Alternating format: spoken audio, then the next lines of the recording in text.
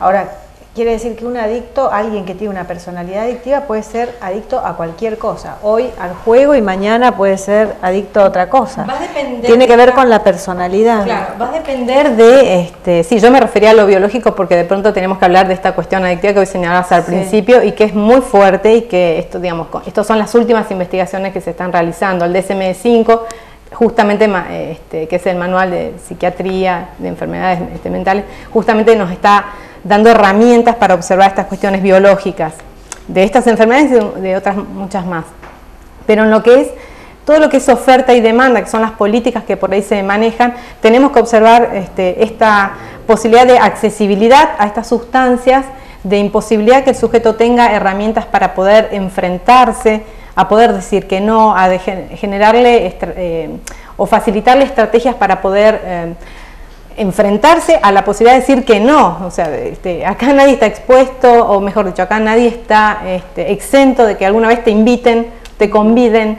Este, y que vos No, tengas de hecho hay una oferta de todo. bueno, por Es eso, o sea, es un patrón de belleza Hasta- exagerado donde las mujeres por ahí entramos en estas dietas Sí, sí, sí. este, muy crueles, muy cruentas. La adicción al- a la belleza, por ejemplo, al cuidado del Exactamente, físico. O a exactamente. la ropa, o al consumo, al Exactamente. comprar por comprar. Sí, es Son, entonces, son adicción. conductas marcadoras de, este, de situaciones displacenteras previamente instaladas y que después este, tienen sus consecuencias y que cuando no sirven, la primera instancia ya va fracasando, se va complejizando en respuestas más desadaptativas a la realidad. Ahora está muy relacionada con las frustraciones, este, o sea, porque una persona busca, digamos, en alguna sustancia, en algo, o en, salir Sí. a comprar ropa o en lo que sea, eh, es una conducta que está relacionada con, con la autoestima, con las frustraciones Tal cual. personales. Sí, ¿no? o sea, por eso yo vuelvo a remarcar. eh, Que por comienza supuesto que a hay factores psicológicos que podríamos eh, nombrar como estos los que vos estás nombrando.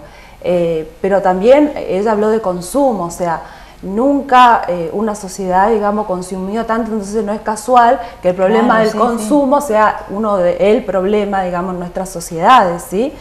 Eh, por supuesto que una personalidad vulnerable, sí, una personalidad, eh, digamos, donde haya falta de tolerancia a la frustración, donde haya falta de autoestima, eh, donde haya, este, digamos, poca capacidad de tener estas habilidades que nombraba Corina, digamos, de poder, em, digamos, este, decir que no, a rechazar o, o tener habilidades sociales muchas veces, ¿sí? que cuesta mucho, eh, que no es fácil, o sea, no es casual también que en la adolescencia sea el periodo más crítico, digamos, por supuesto que, que todas estas cuestiones son factores de riesgo, digamos, que ante la abundancia, como decíamos, de la facilidad, porque también eh, eso es lo que pasa en nuestra época, digamos, nunca hubo tanta facilidad para Claro. acceder también Y, y- a, y a tanta, determinadas... tanta publicidad para, digamos, la gente que hace publicidad estudia justamente los puntos vulnerables para que la gente tenga ganas de consumir, o sea, eh, no solamente hay ofertas, sino que además hay circuito, como digamos, toda una no incentivación a, ese- a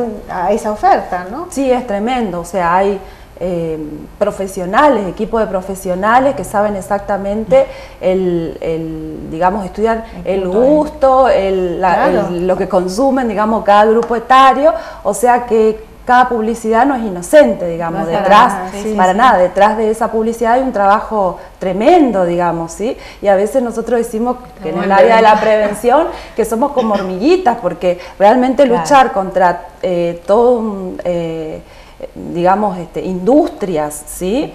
Eh, dedicadas a eso, eh, eh, a veces los recursos, digamos, en Claro, salud uno quedan se siente muy, muy pequeño. muy ¿no? pequeñito, claro. Bueno, vamos a un corte y enseguida volvemos.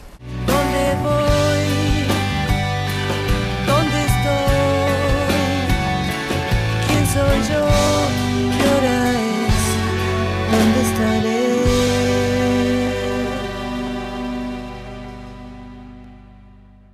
Y seguimos en Mujeres en Cambio, hoy hablando de adicciones, un tema que realmente eh, creo que no nos puede dejar afuera uno cuando está cuando tiene hijos y con uno mismo, ¿no? No, sí, la so- Eh, por la sociedad. Por la sociedad. ¿Hay una edad para, para la adicción? ¿Hay una edad donde hay, digamos, uno es más propenso o alguien puede ser una persona normal, eh, todo bien y de pronto a los 45 años tiene una crisis y bueno, comienza a tomar pastillas y se hace adicto? ¿Puede suceder esto o, digamos, ¿Cómo es? ¿Cómo funciona? ¿Cómo suceder? Puede suceder, pero bueno, en realidad hay lo que se llama una carrera adictiva, ¿sí? Lo que vemos, o sea, el grupo etario más vulnerable por excelencia es la adolescencia, ¿sí? Por las características mismas de esta etapa evolutiva, por los cambios que está sucediendo, bueno, por la curiosidad, la inestabilidad emocional, digamos, hay cuestiones, este, digamos, biopsicosociales importantes en esta etapa que lo hace más vulnerable. El grupo de pares, por ejemplo, que es importante, o sea,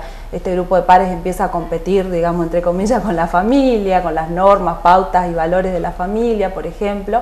Entonces, por supuesto que, que es mucho más vulnerable y va a comenzar generalmente, por eso digo, hablo de las generalidades de la ley, eh, generalmente la, la droga de inicio es el alcohol, las drogas este, legales, ¿no? El alcohol, el tabaco, digamos, y por aquí es lo que llamamos la puerta de entrada y eso hace que uno sea más propenso a tender, a probar, digamos, y a, a- a- a entrar a esto que yo llamaba la conducta, la carrera La adictiva, carrera, ¿no? claro. Que vamos a empezar por esta sustancia, después por ahí nos este, animamos a probar otra cosa, quizás influenciado por esto que yo digo del grupo de pares, de determinados este, eh, grupos, ¿no? Y actualmente empiezan muy, muy pronto los Sí, chicos a muy, consumir muy alcohol. pronto, ¿De qué edad- muy de qué pronto. edades estamos hablando? Eh, bueno, ahí Corina les va a comentar un poquito estas estadísticas, pero estamos realmente alarmadas porque eh, haciendo, digamos, la eh, viendo año tras año cómo va bajando las edades, ¿no? Para,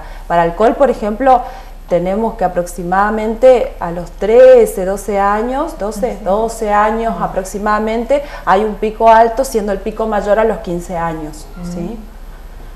Eso sucede acá en Posadas. ¿Qué dicen las estadísticas? Bueno, em, digamos, nosotros tenemos un observatorio provincial de drogas que depende de la Subsecretaría de Prevención de Adicciones. Este, y en el, en el marco de, de- de este observatorio provincial, en- tanto en Puerto Iguazú como en, en la ciudad de Posadas, se aplican todos los años unas encuestas que se utilizan para luego definir algún tipo de políticas este, preventivas.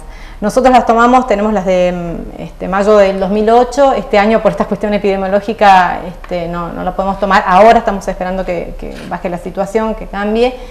Y este, lo que sí fuimos viendo es que, como bien decía Janina, eh, a partir de los 11 años empi- empieza a, que- a la curva de consumo de alcohol este, a elevarse significativamente hasta llegar a su pico, eh, pico máximo a, las, eh, a los 15 años. Luego desciende, y fíjate vos qué ironía, porque a los 18 años la ley este, permite que Sí. el sujeto comience a tomar y es cuando empieza a bajar y a descender el consumo este, de alcohol.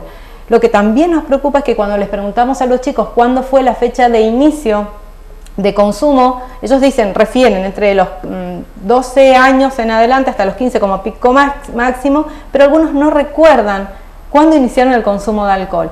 De manera que el alcohol no es tan inocente ni es tan, este, más allá de que sea legal, no es tan este, inocente en las consecuencias, porque es el primero en dejar una huella este, eh, en, en el olvido, digamos, generar mucho mayor patrones de olvido y conductas de amnesia, por lo cual uno es incapaz de recordar y poder revisar un poquito qué sucedió frente a las ingestas abusivas de alcohol.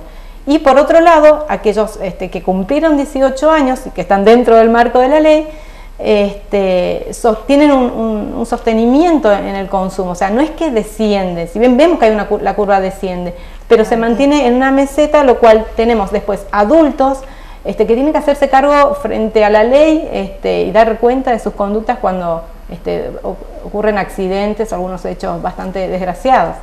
¿Y, y en Misiones cómo estamos con el tema de consumo de, de- de sustancias no, pro- no legales? No digamos? legales. Bueno, este, es- digamos, tanto la marihuana como la cocaína este, son sustancias que, bueno, que sí están este, dando vuelta.